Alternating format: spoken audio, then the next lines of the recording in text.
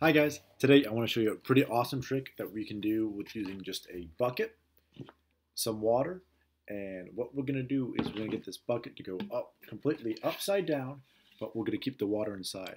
Now in order to do this, we have to go outside, so let's uh, go check it out.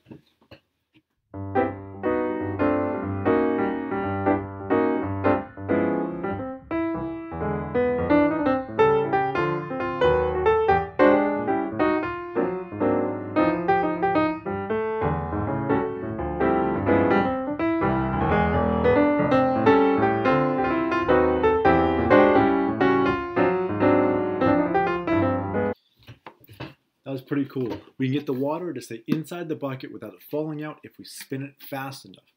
It stays inside due to the bottom of the bucket. What's happening is the water is just trying to go straight. As it's trying to go that way, the entire time the bottom of the bucket is pushing it in like this. Kind of crazy. Without the bottom of the bucket, the water would fly out. What's kind of neat is I've done a previous video on this topic. It's going to be linked either here or one of these spots.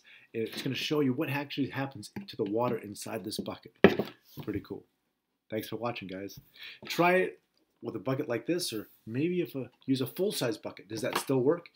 If you put other stuff inside, can you still get the spin? Can you do it really big circles or tiny circles? Can you still get it to work? Thanks for watching.